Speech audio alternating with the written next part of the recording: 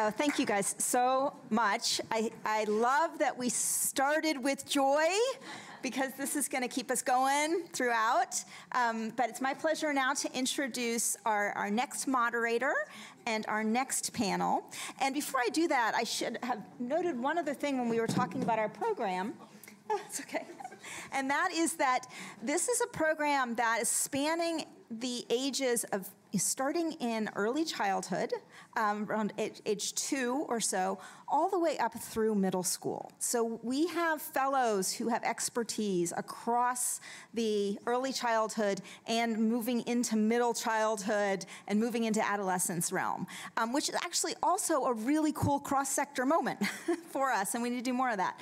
So I am thrilled to invite our, um, our next moderator up, um, and then she will introduce the, the panel. Um, and this is Aashti Zaidi. Hi, let me see if I've got the next. Hold on, guys. Let me get it, get us going. Okay, yes, and she's going to introduce the next video. Um, and Aashti eh, has been a, a mentor, um, an advisor to the program for several years now. She is the CEO and founder of the Global Schools Forum, which is an incredible organization, um, I think based in the UK, but works with schools across the world, primarily in lower income and underserved communities to support those schools' growth. So we were so thrilled to have Aashti as a mentor and an advisor on this program. And I'm going to turn it over to Aashti now. Thank you. So good to see you. Hi, everybody. Um, can you hear me okay? Thanks, Lisa, for that very kind introduction. Delighted to be here today. Um, after Joy, we are moving into the topic of belonging, which is incredibly dear to my heart. Um, as Lisa said, my name's Aashti, and I am so, so excited to be here with the fabulous team bringing us the Building Belonging Project. Um, but before we jump into a conversation with them, let's watch a quick video that tells their story.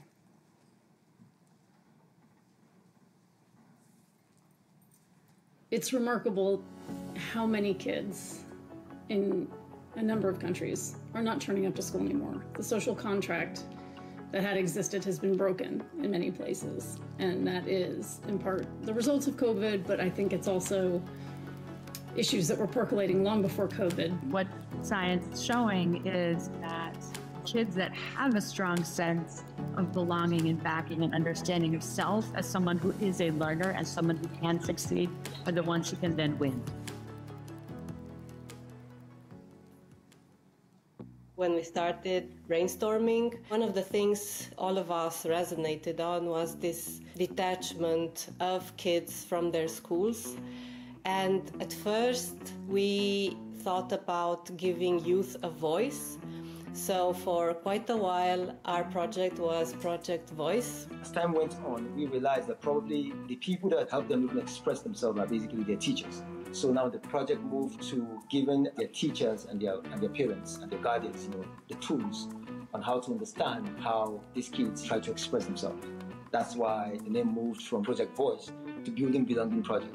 We wanted something that was shareable, usable, doable, replicable, the sort of anchor piece to the project is this 10 minute video, which is a combination of students and experts and teachers talking about why this matters. They get into the neurobiology of why belonging matters, they get into the research on teacher practice, on why this matters. Students really talk about how it's impacted them themselves. But we felt that video was a very powerful way to make our case concisely and quickly, and in a way that very time strapped teachers can digest. And then we've, in addition to that, created resources that we've put on a website that we've created, which is buildingbelonging.org. We created lesson plans for 5, 15, and 45 minutes, depending on how much time they have. If they were raising awareness uh, and understanding of the science of belonging, then also providing some, some practical tools for teachers to start that work in their classroom straight away. So one of the classroom resources that we've developed is This Sticks to Me, the brilliant Oana Negru within our group, who's our research specialist, managed to take all of that evidence around belonging and affinity and voice and translate that into this uh, lesson plan that teachers can use throughout the day. The science beneath our Building Belonging project relies on research focusing first on social belonging and bringing this concept of social belonging closer to school. For people working in the system, sometimes the fact that they offer them very practical tools, they have a smart board, they have their tablets, they have an app that the school uses or whatever, they have Google Classroom where they can interact. These practicalities mean that they offer school belonging. And from my perspective, sometimes the emotional dimension of kids feeling that they belong in school is always lost. Moving this space just one centimeter over this line of practical problems to emotional and cognitive problems, I think it's something that we need to look at. The idea of belonging in middle school is for me directly correlated to the future of our systems of democracy and of international relations and of international collaboration. Because if we want to build a world in which every person can participate and be a part of a democratic culture, every kid in middle school has to feel like they belong and they can develop their voice because otherwise they're not going to grow up into someone who feels like they have power and they have agency and they can shape the future of our world. We hope that, library may well uh, grow in, over the next uh, coming years and we can maybe continue to get this message out in as many different ways as, as, as possible and people want to learn about the, the science of belonging and, there are multiple angles at, at, various levels of kind of breadth and depth for, for them to, to, to kind of um, learn more about it. The ability to be able to see this problem from different perspectives has been it's just unlike anything that, that I've that I've had before. It's, it's been a wonderful experience, and I'm very confident we'll stay in very close contact even after the, the, kind of official end of the summit.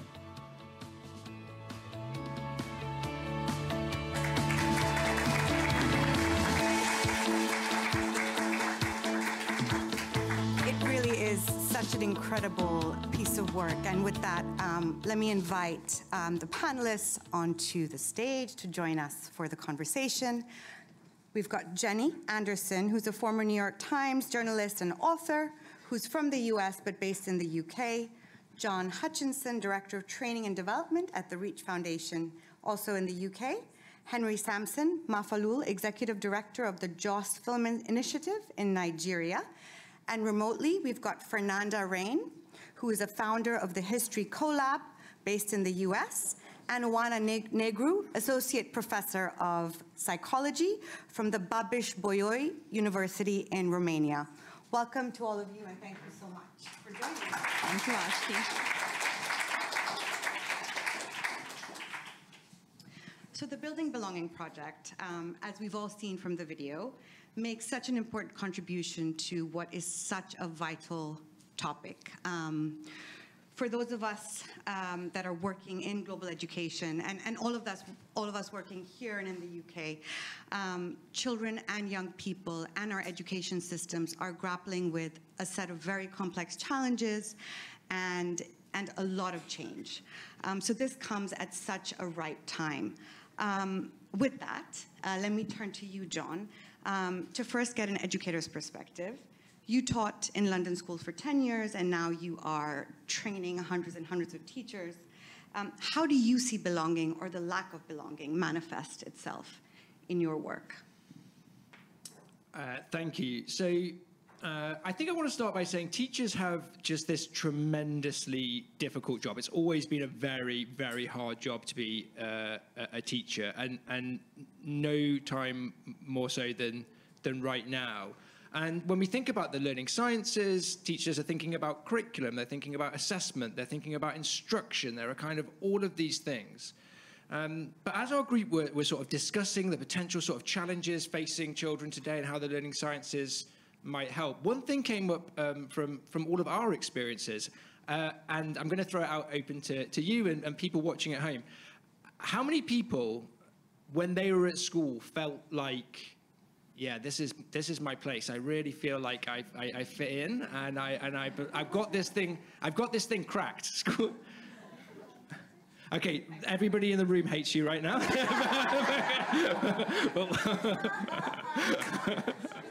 okay, so the unscientific poll is 1% of people.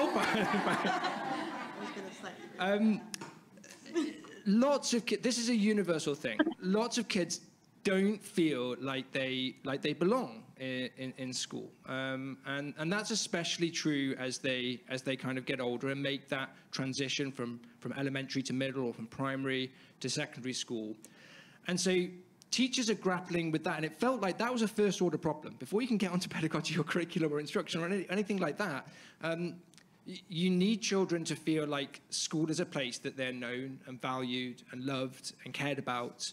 Um, and so that was our, our starting point. When belonging doesn't go right, we well we see what I, I know what this I know what this is like um, from from uh, from working in classrooms from from primary to secondary for, for the last ten years. And, and, we also have the data to back this up. We have millions of children right now chronically absent. Uh, absent. In the United States here, it's, it's risen from 7 million to 15 million children chronically absent in, in the last six or seven years. This isn't just a, a COVID thing, it was happening before COVID. Um, and those are kids who are turning up aren't always turning up, like mentally, spiritually. Um, in the worst cases, if you don't create a sense of belonging in school, children find that sense of belonging somewhere, somewhere else. And that can then lead to, to children being vulnerable to, to criminality, to radicalization, and the sort of capture and division that we've been seeing around the world over the last few years. Thanks, Jon. Thanks for the sobering reality, but also just, and I'm going to come back to this um, and ask you this later, but just the challenges that that puts on teachers as they try and grapple with these multiple issues whilst also needing to teach. Um, but let's shift gears a little bit to Fernande. I, I want to understand from you how this manifests itself in your work as a social innovator, um, co-creating innovation with your teachers, with families, with communities. Um, how does this impact your work and, and what do you see as you co-design these projects? Well, just to stay on the depressing theme that Jon started, I mean, we see that. joy, joy, um, there is no joy. There is no joy. joy we are a joy-free, joy-free project. No, we're sort of in the in the doom and gloom business of looking at how do we solve the problems that we have in this world, right? Democracy going to hell, the planet frying, all these beautiful things that keep us awake at night. Um, and then we turn to young, we we look at sort of polls and statistics about democracy and young people, and people are shocked and say they're anxious, they're disengaged, and they don't believe in democracy. And oh my gosh! And the usual solution is to throw in more content, right? Kids need to know more. They need to learn more or do more. Um, and we're not focusing in that work on how young people feel or how they're learning and whether the ways that they are learning are building the social emotional skills that they need to thrive as sort of a basis of their getting involved in democracy, which is the, the, the term that my colleague Susan Rivers uses so much, centrality of thriving for democracy, right? So in our work, um, it really is about, it, it's always about putting this thriving and belonging uh, at the very center of everything that we do and how we connect young people into learning environments where they're building relationships with human beings, with their communities, with the world around them. Um, and we see in that that when you build learning that is based in belonging, they end up uh, igniting their curiosity, their creativity, and they become engaged and much more connected with their community. And so belonging really is an essential element, um, particularly in a world where so many kids are also experiencing uh, displacement and migration, right? They're often in environments where they really, really don't just feel like they're in a new classroom in a new school, but a new country with a new language. Um, and in, in that context, belonging is the very foundation of um, rewiring our school system so that they can be nurturing an engaged and multi-ethnic and multi-perspective uh, carrying democracy uh, for the world that we live in today. Thank you so much, Fernande. I, I think both you and Jon really echoed that the sense of belonging is kind of a pre-foundation. It's sort of something that needs to happen before um, or alongside the process of teaching and learning. Shifting to you, Oana, but staying virtually, I would love to hear about your research, which, which as I understand it, really focuses on the process of, of self-identity um, and, and thinking more about the cultural context in which you work. Um, how do you see belonging being addressed in the classrooms? Uh, um, this morning, preparing for the summit, I asked my nephew, who's a middle grader, why do you, why do you go to school? And he answered really quickly, because you make me. So belonging matters immensely. But when schools fight for like more basic resources, like access to qualified teachers or very poor school infrastructure, it may matter less. And for educators and even students, in cultures where educational resources are more limited, this need can be overwhelmed by much more basic needs. So school belonging may not even be explicitly understood as a real need. When talking to um, school, school head, headmasters and um, um, leaders of school inspectorates here in uh, Transylvania when preparing for the videos, that we shot here and I explained to them the concept of school belonging. They it seemed like something so exotic and strange because uh, their uh, priorities were give all kids books, give kids tablets, uh, ensure a warm meal for all kids. So that, that those were the real needs that would make kids belong, feel like they belong in school. So that's why teaching students and teachers about school belonging matters even more in such contexts. And this will be a core dimension of what I will focus next in my research. Thank you so much. That really speaks a lot to my, my own work with Global Schools Forum because in many of the schools that are part of our community, um, access to, to basic resources are, are absent, uh, books, chairs, tables. And so, but, but that doesn't mean that belonging isn't important. It just needs to be addressed in a slightly different way. Um, so thank you for that. Shifting now to you, Jenny. Um, you're a journalist and an author and have just finished a book on the engagement crisis in learning. Um, what did your research for the book reveal about how a sense of belonging contributes to how children learn? I mean, how compelling is the research? Um, thank you. Uh, and thank God the book is over. That was a long and arduous process. So the engagement crisis is um, very real. I don't know, i am going to cite some US stats, but um, I find them fairly staggering. In elementary school, 75% of kids are engaged in their learning. That still means 25% are not, but 75% are. By high school, 75% of kids are disengaged with learning. They don't feel good about learning, they don't want to put in the effort to learning, and they struggle with it in some way. And I think we've kind of made peace with that or we've shrugged our shoulders and said it's too hard to deal with. And I do think belonging is a really essential piece to this puzzle. Um, and I think it's because when we think about learning, learning is hard, right? It requires effort. Learning requires a lot of vulnerability, right? Raising your hand, asking a question, I don't understand, risking the shame of your peers at a time when your peers mean everything to you. I'm lost. I don't understand. So, sense of belonging is just fundamental to be able to marshal the resources to actually learn. And the research is rigorous and it's been replicated in multiple contexts, and it consistently shows that when kids, when kids' sense of belonging is threatened, they underperform their potential, they feel worse about themselves, they feel a sense of hostility to others. They behave worse. So this is really core. So if we can get this piece right, it would make a huge difference. And this is why we um, wh why we wanted to focus on teachers because teachers have an incredible capacity through subtle actions. This isn't, you know, reinventing the curriculum or taking on um, assessment. You know, this is really it's hard. I'm not undermining how hard it is, but it is subtle and doable. And we felt like belonging isn't tweaking at the edges, right? It's the lens through which a learner sees the world, okay? And so if we can get them to see that they belong and they can participate, they will show up and they will do the hard work of learning. And, and the, we kind of did the math and we thought, wow, if we could just get, I live in the UK with, um, as well as Jon, if we could get 1% of teachers in the UK right? That's 5,000 teachers. That scales to hundreds of thousands of learners. Like, we could have the impact we want. We wanted big impact. And so we really settled on belonging as kind of the way to do it. Thank you. Um, those, those stats are staggering.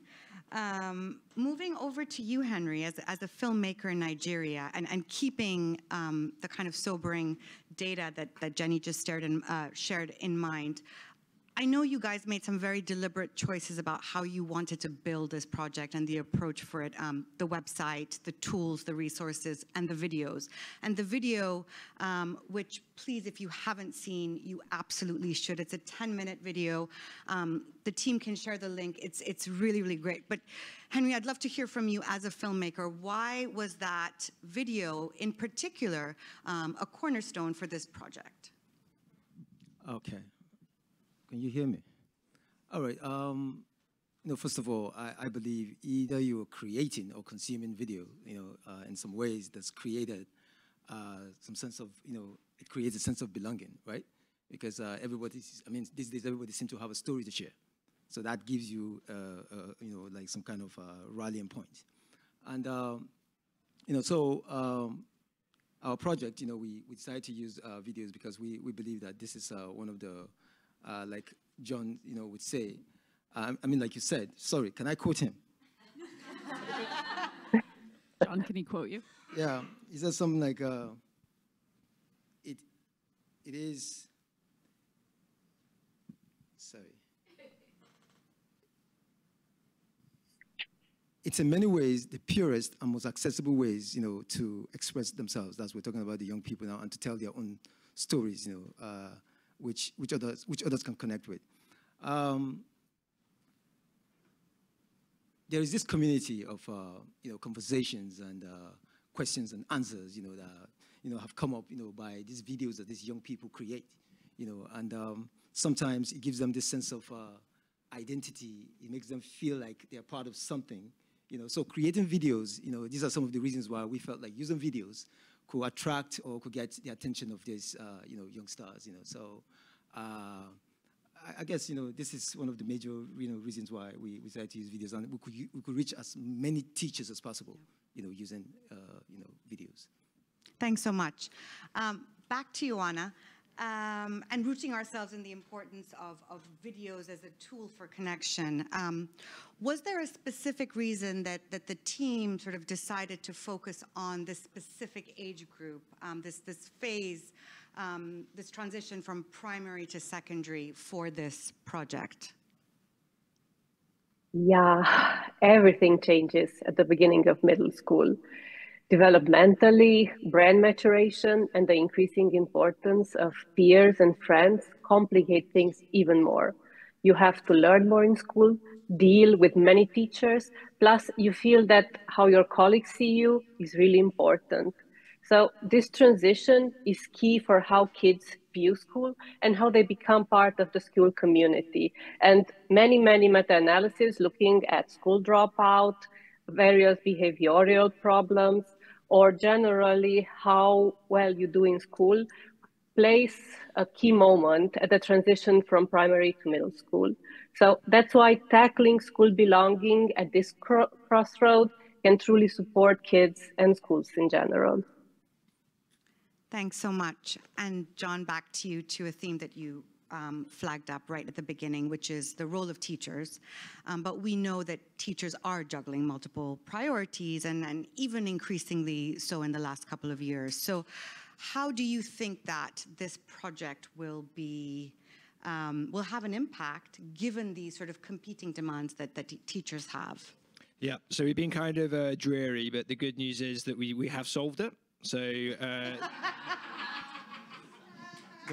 the, rest of you can stand Joy up. Joy is back. Okay. we did it. We did it about 3:30 a.m. last night. Uh, we, we, we, we um, teachers are time poor. Teachers are the most time poor people on on the, on the planet. Um, however, they're the kind of the key to children feeling this sense of belonging. Uh, Michael Fullan, great uh, Canadian academic and uh, uh, educational reformer, puts it like this. He says, "School improvement depends on what teachers think and what they do. It's as simple and it's as complex as that. Um, and so we wanted to have those two prongs. We wanted to build understanding, actual real understanding of the science of belonging, because I think teachers instinctively feel like this is a good thing to happen, but don't necessarily understand the, the theory. And we didn't want it to be superficial.